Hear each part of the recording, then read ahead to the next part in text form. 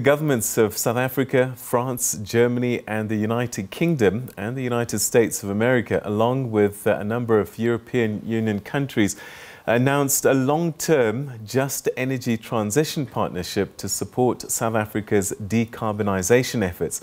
Now, this will see the mobilization of an initial commitment of $8.5 billion for the first phase of financing aimed at accelerating the decarbonisation of South Africa's economy.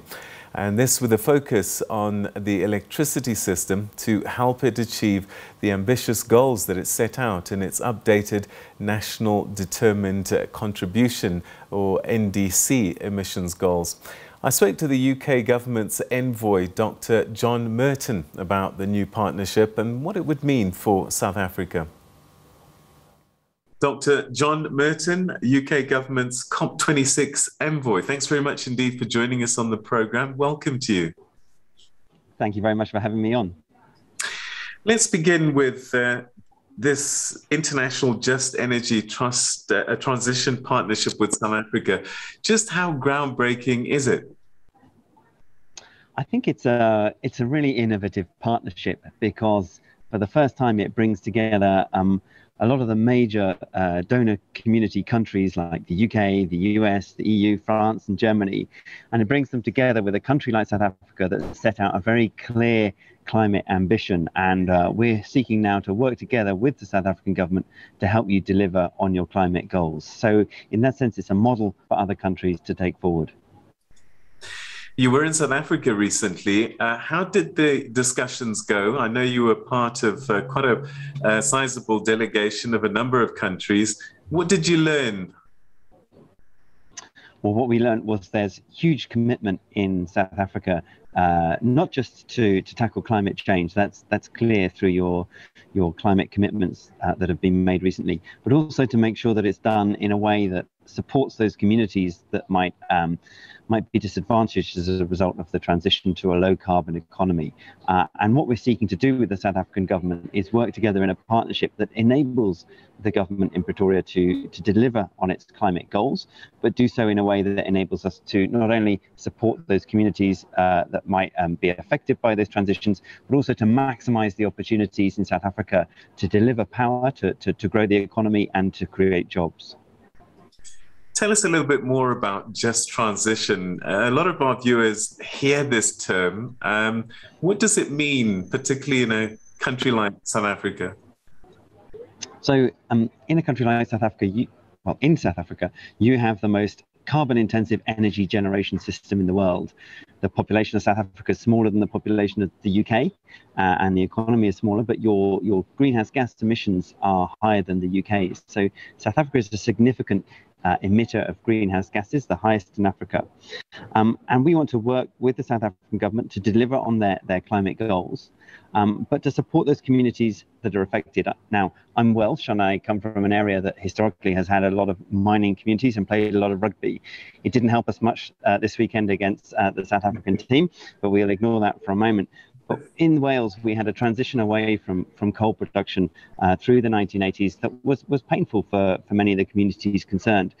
So, what we want to do is work with the South African government to not only ensure that um, Eskom and other generators um, in the South African energy market can provide the energy, the electricity that your economy needs to drive growth and create jobs, but also to support those communities who work in coal mining, who work in the power generation sector, um, particularly in areas like Mpumalanga, and support them to transition to alternate um, livelihoods.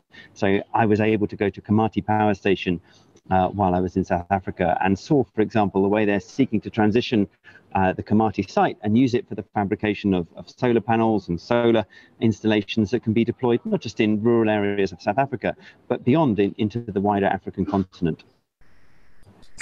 So there's a, an initial commitment of about $8.5 billion uh, for the uh, first phase of financing. Um, where will these funds come from and how will it work? So um, some of these funds will come from the Accelerating Coal Transition Fund of the World Bank's Climate Investment Funds. And those are highly concessional funds that would not usually be available to a middle income country like South Africa that will enable us to, to work very closely with the South African government to deliver the goals that I've been speaking about.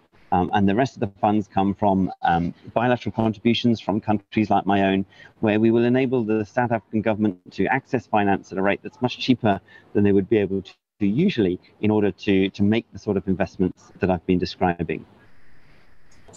There's been questions raised about developed nations and their commitments to financing. How do we know that you're going to follow through with this? well, we've all signed on the dotted line together, and uh, the nature of the project will be basically, essentially, matching funds from from from partners with what with projects that South Africa wants to take forward. So it's very clear that if the funds aren't come um, aren't forthcoming, that the projects won't go forward, uh, and equally the projects can only go forward if, if there are the funds. So it'll be it'll be very much based on on a on a consensual process. What we're trying to do in, in taking forward this this partnership is make it much easier for South Africa to access those funds rather than having to go around to each of the different donors in turn and negotiate with them individually. We're working together as a partnership so that South Africa can go to the one place and access the funds it needs in order to deliver on its climate goals and in order to power the South African economy into the, the second half of the 21st century. South Africa, uh, largest carbon emitter on the continent, and uh, perhaps rightly then being encouraged to, to make this uh, transition to greener economies. But what is the international community doing to, to deal with big hitters like, like China? I think what we'll see increasingly is recognition around the world that the low carbon economy that we're transitioning to is actually an opportunity for jobs and for growth.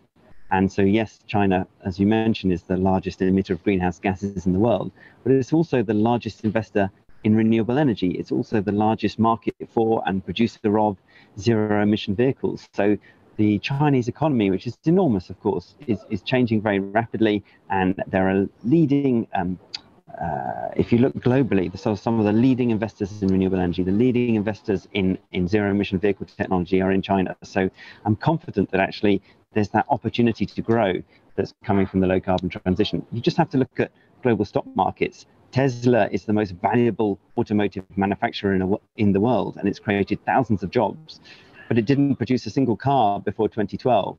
So we're seeing a very rapid change. Uh, and what's been really encouraging to see in, in South Africa, but also in many other countries around the world, is, is industries realizing that if they want to remain competitive in the new global economy, they have to decarbonize their activities so that they, because um, carbon dioxide emission levels really matter to consumers. So to, if you need to be competitive, you need to decarbonize. And the South African government has recognized that. And I'd point you to what President Ramaphosa said in his statement to all South Africans recently about the just transition. He was really underlining the fact that if South Africa wants to continue to compete in the global economy, it has to decarbonize its economy. And this partnership is about helping it to do that. So you're in Glasgow in Scotland right now. COP26 is underway. How is that going? Well, we're cautiously optimistic. Glasgow is not about renegotiating a new climate agreement. It's about demonstrating that the Paris Agreement works. And the Paris Agreement is about limiting the rise in global temperatures to no more than 2 degrees centigrade and as close to 1.5 degrees C as possible. And some of the early external analysis uh, this week has shown that if actually, if countries make good and deliver on the commitments they've made, for example, like South Africa's ambitious NDC, then actually we stand a very good chance of limiting the rise in global temperatures to 1.9, 1.8 degrees centigrade, which is a huge improvement from before Glasgow. Uh, it's not enough. We need to go further, but the signs are we're making progress. You talk about the, these nationally determined contributions, NDCs, and Paris, when the uh, uh, agreements were signed, uh, at that time, I think everybody knew that uh, the commitments were not going to be enough. Um, and this uh, Glasgow meeting, COP26, partly is to look at those NDCs and decide what to do next. I just wonder how are countries doing in revising uh, their NDC? We've seen a lot of ambitious revisions. South Africa's is a case in point. The UK has revised our NDC. We're now committed to a 68% reduction on our 1990 emission levels by 2030 and a 78% reduction on our 1990 emissions by 2035. So we're seeing more ambition from around the world. And that's partly possible because we've seen huge drops in the cost of things like solar power, in the cost of battery storage, in the cost of zero emission vehicles, in the cost of wind power. And that means that countries can afford to be more ambitious than they thought they could, even just a few years ago. What we see now is that solar power is the cheapest form of electricity uh, that the world has ever known. And it's a perfect technology for getting out not just across South Africa, but also across uh, African countries more widely. I was most recently our ambassador in the Re- Democratic Republic of Congo, and green mini grid solar power has huge potential to reach communities in rural areas that um, fossil fuels would, would never have managed. There is some criticism about COP26, though. There are some saying that um, uh, there are a number of civil society groups and voices that are being excluded, and they are by and large um, watchdogs for some of the agreements that uh, you guys will be uh, agreeing to and signing. So, we're seeking to make COP26 the most inclusive COP ever. I think what's remarkable is we are holding um, COP26 at all in the midst of a international COVID pandemic, you've seen many, many international summits cancelled. But we know that climate change is too important. Climate change won't wait for us to finish dealing with COVID-19. So we've we've put on COP26. We've had 120 world leaders here uh, last week, uh, and yes, room capacities are slightly reduced because we have to enforce social distancing to, to keep delegates safe and to keep the people of Glasgow safe. But we're aiming for the most inclusive COP ever because um, we need to hold countries to account for the commitments that they're making, just as you've described. Are you optimistic that there will be some kind of um, major movement after COP26? Because in the past, the COPs really, uh, by and large, haven't delivered as much as they should. I'm I'm cautiously optimistic. I mean, I think what we see, and we see it on the streets of Glasgow uh, over the weekend with all the, the, the, major protests that are there, is that increasingly climate change is an issue that voters around the world are concerned about. They're concerned about climate change, they're concerned about growth, and they're concerned about jobs. And the low transition to the low carbon economy that we're trying to support with this partnership with South Africa uh, helps to resolve all of those issues.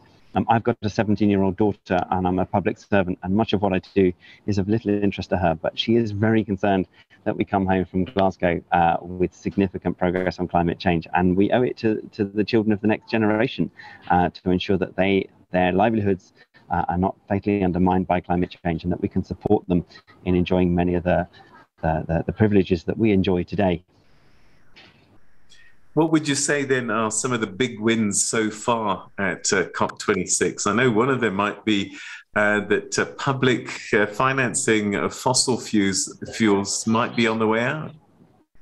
So that, I'd point you to a, a number of big wins.